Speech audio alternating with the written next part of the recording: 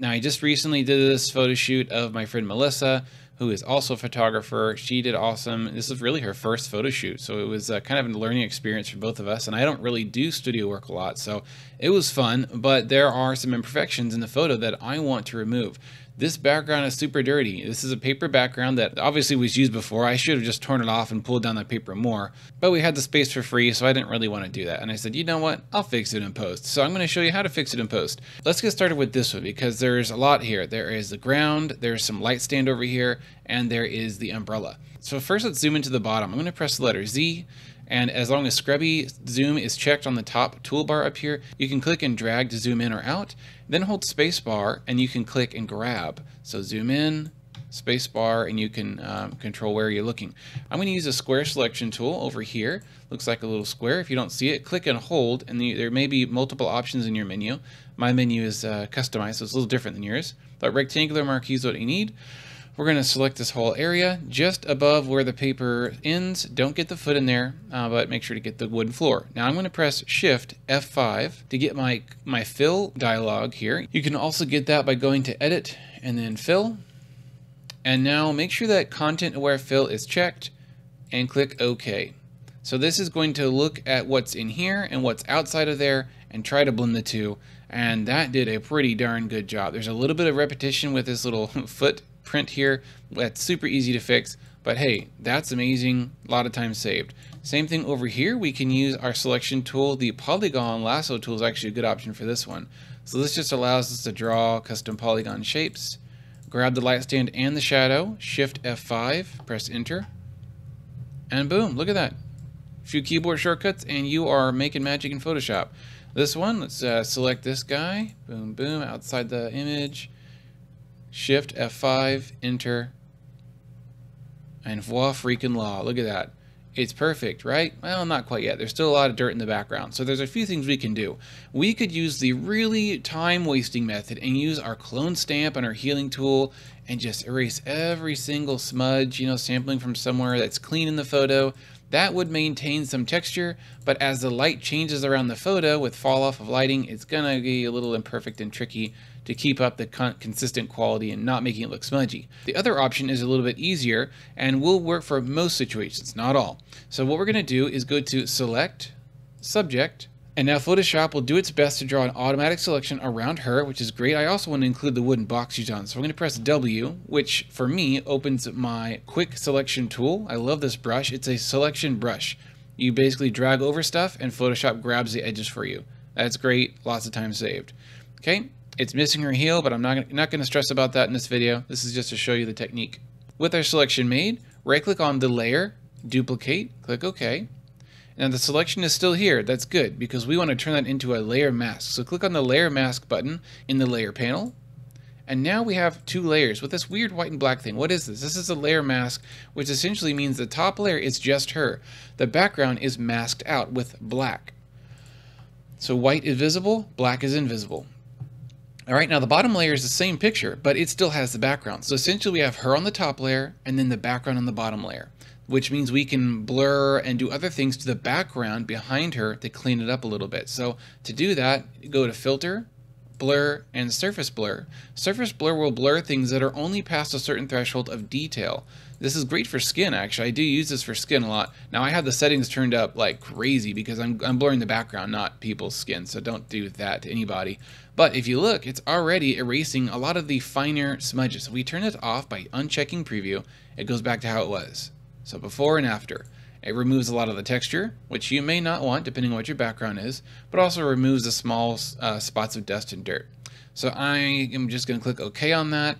And then the little spots that are still distracting, kind of standing out, the brighter spots, you can use the clone tool or a brush tool to erase those.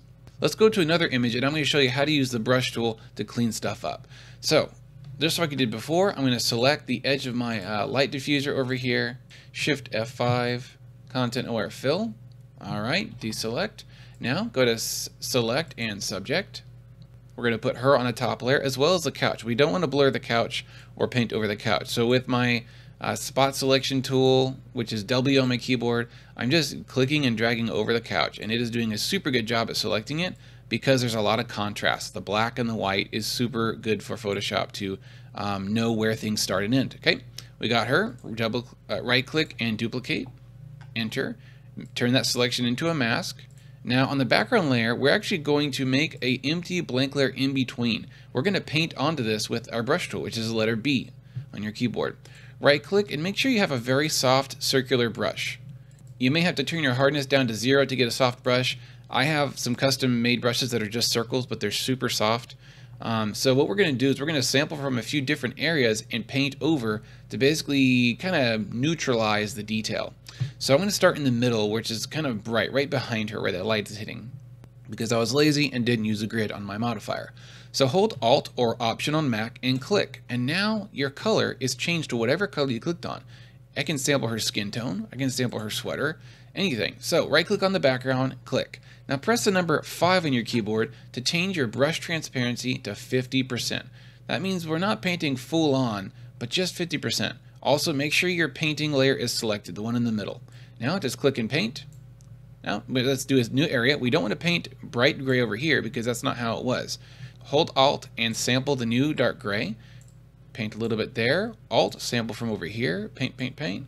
Sample from here. See what I'm doing? I'm, kind of moving around my photo keeping that natural gradient of light fall off um, and just uh, you know just lightly little brushy brush here and there to cover up the detail if you want to add you know more shadow you can use a you can make your color darker and just paint around the edge just sort of like do a little vignette you can cancel out some of that bright background if you don't want it to be bright I mean, you can paint like color behind her.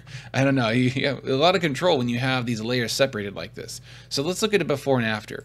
Before, after. Now, I think I painted a little too much, right? It's too blah, it's too flat. So we could either just click undo and go back a few steps and paint lighter, or we can turn the transparency down of this uh, middle paint layer. So now it's at 50%. So my painting is 50% there which looks pretty good. Now I am actually going to zoom into these areas and clone these out. So let's hide our painted layer by clicking on the little eyeball in the layer section. Press S for clone stamp, which is also over here. It looks like a stamp. And for this, you can Alt or Option click on Mac an area and it samples it, but not the color, it samples the actual pixels. So look, I'm actually painting the pixels from one area onto another. So I can paint my clean areas on top of the dirty areas. And as long as your lighting is consistent and you're going in the right direction, this works great. Now, don't do this. Don't sample from a dark area and paint over a light area, because then it's very obvious. So try to find where the light, what the direction of the light, and go perpendicular to that. Oop, that was too bright, so I'm gonna go a little darker. There we go. You gotta be, you gotta be real careful and clever. Now these spots are too dark, so I need to get a little bit of a brighter area. Maybe that one. Yeah, that works a little bit better. Awesome. So I'm just holding Alt and clicking and painting. Alt click, Alt click paint, Alt click paint. Get these scratches off here. Yes, it's tedious and yes, it takes time, but you know what? So does anything that's good. So just get over it. Learn Photoshop. You'll thank me later when you can do things that nobody else in your area can do. Now these areas are a little troublesome. I'm not able to get these scrapes off because they cover such a large area. So I'm going to try another tool in my arsenal of retouching is the J key, which is the, for me, is the spot healing brush. I love this tool because you can just paint and then it fills it in. Ooh, look at that. It's almost always perfect. Almost always. Not always, but just almost always. And it does a great job. And in fact, this is a lot easier than the spot healing brush because I don't have to sample it's kind of sampling, at least I think, it samples from what's around where you painted, just like the content aware fill, and it fills in the gaps for you. Not sure if it's AI or what it is, but it does a really good job. So I think that this tool, the spot healing brush, combined with a little bit of background paint over, um, is probably your best bet for cleaning up dirty backgrounds. Look at that footprint on the wall. We don't want that to be distracting from our subject. Um, so those two tools are great. Now we still have our painted layer, which we can fade in or out if we want. We can maybe paint a really light white color right behind her. I actually just sampled from her sweater. Look at this, I'm brightening up around her. Not too much, just a little bit. Cool, I like that too, that looks nice. Kind of puts the focus on her. Here's another easy one, let's zoom into the bottom, use our square marquee tool. Boom, shift F5, hit enter. Content, content aware fill makes my job so much easier. And then let's use our J spot healing brush to uh, clean this up. Now look, I'm painting, but nothing's happening. Why? Because I still have this selected area down here. So all Photoshop will let me do is work within this section. So to get rid of a selection, go to select and deselect, which is also control D. All right, so now I can work on the whole photo. So again, I'm using my spot healing brush, just touching up a few areas. By the way, this tool is incredible for two other things, removing pimples and stray hairs.